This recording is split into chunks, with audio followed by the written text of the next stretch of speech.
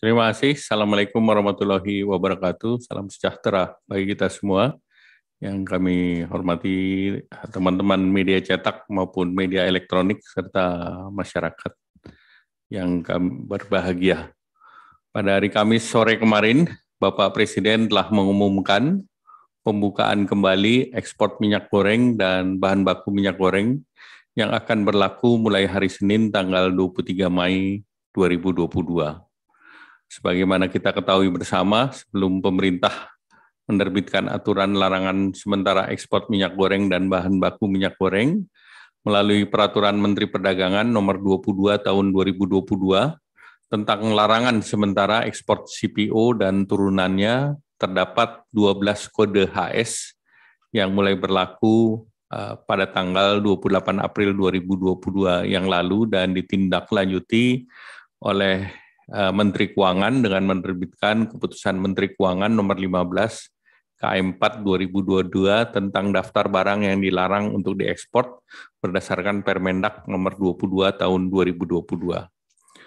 Sejak dilaksanakannya pelarangan sementara ekspor per tanggal 28 April 2022, pemerintah telah melakukan langkah dan koordinasi serta evaluasi untuk melakukan pemantauan di lapangan sebagai upaya untuk memenuhi kebutuhan minyak goreng dengan dengan harga terjangkau di masyarakat.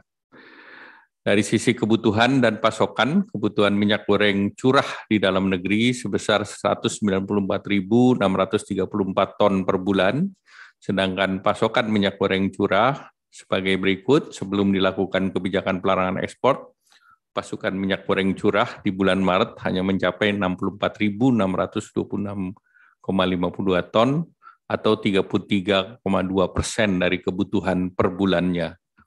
Namun setelah dilakukan kebijakan pelarangan ekspor, pasokan minyak goreng curah pada bulan April meningkat menjadi 211.638,65 ton per bulan atau 108,74 persen dari kebutuhan. Ini melebihi kebutuhan bulanan nasional. Dari sisi stabilisasi harga, berdasarkan pantauan harga minyak goreng curah sebelum pelarangan, harga minyak goreng curah mencapai 19.800 per liter, namun sesudah pelarangan ekspor ini turun menjadi di kisaran 17.000 sampai 200 sampai 17.600 per liter berdasarkan data pasokan yang semakin terpenuhi dan terjadinya tren penurunan harga di berbagai daerah, serta untuk menjabat uh, mempertahankan harga TBS petani rakyat, maka Bapak Presiden telah memutuskan untuk mencabut larangan ekspor pada tanggal 23 Mei atau hari Senin uh, minggu depan. Kebijakan tersebut akan diikuti dengan upaya untuk tetap menjamin ketersediaan bahan baku minyak goreng, sekali lagi saya tegaskan, bahwa ini untuk menjamin ketersediaan bahan baku minyak goreng dengan penerapan aturan domestic market obligation oleh Kementerian Perdagangan dan domestic price obligation yang mengacu pada kajian eh, BPKP. Dan ini juga akan ditentukan oleh Kementerian Perdagangan jumlah domestic market obligation ini di, kita menjaga sebesar 10 juta ton minyak goreng yang terdiri dari 8 eh, juta ton minyak goreng dan ada ketersediaan pasokan ataupun sebagai cadangan sebesar 2 juta ton. Nah, Kementerian Perdagangan akan menetapkan jumlah besaran DMO yang akan di, perlu dipenuhi atau harus dipenuhi oleh masing-masing produsen serta mekanisme untuk memproduksi dan mendistribusikan minyak goreng ke masyarakat secara merata dan tepat sasaran.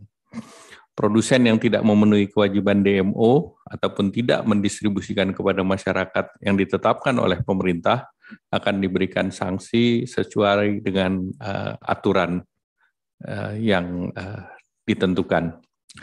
Mekanisme penyaluran akan menjamin ketersediaan pasokan. Sekali lagi, ketersediaan pasokan uh, akan terus dimonitor melalui aplikasi digital yang ada di Kementerian Perindustrian, atau sering disebut dengan sistem Simira.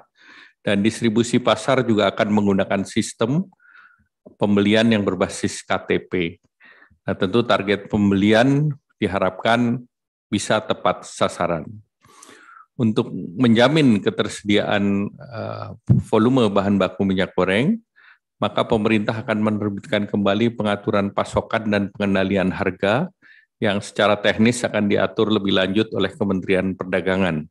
Sedangkan untuk menjamin pembelian TBS dari petani dengan harga yang wajar, ini dilakukan pengaturan yang tentu saja melibatkan uh, pemerintah daerah dan tentunya bagi para perusahaan ini diharap agar bisa membeli CPO ataupun eh, perusahaan CPO membeli TBS dari petani pada tingkat harga yang wajar. Di samping itu untuk akselerasi percepatan distribusi minyak goreng dengan harga eceran tertentu, pemerintah memberikan penugasan kepada Perum Bulog untuk mempersiapkan menyediakan cadangan minyak goreng sebesar 10% dari total kebutuhan minyak goreng curah dan nanti akan disiapkan dalam bentuk kemesan sederhana.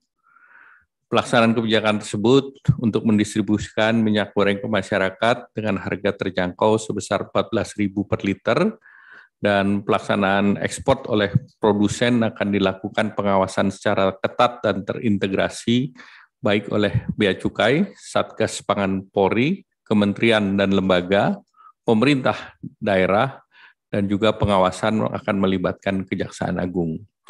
Pemerintah akan secara tegas menindak setiap penyimpangan, baik distribusi maupun ekspor, oleh pihak-pihak yang tidak sesuai dengan kebijakan dan ketentuan yang ada. Untuk pelaksanaan teknis, pencabutan pelarangan dan pembukaan kembali ekspor, ini diatur oleh Kementerian Perdagangan dan Kementerian eh, Keuangan dan juga akan dikoordinasikan secara teknis baik oleh Kementerian Perdagangan, Kementerian Keuangan serta penyesuaian penyesuaian terhadap peraturan Menteri Perindustrian agar pelaksanaan pembukaan ekspor yang akan berjalan pada tanggal 23 Mei nanti tetap uh, pasokan untuk minyak goreng di dalam negeri dapat terus uh, tersedia dan juga dapat memastikan bahwa distribusinya sampai kepada masyarakat, terutama di eh, pasar-pasar uh, tradisional ataupun di pasar basah. Dan uh, dengan demikian nanti akan ada tambahan penjelasan secara teknis uh, sebelum uh, tanggal 23 Mei nanti. Demikian, terima kasih. Wassalamualaikum warahmatullahi wabarakatuh.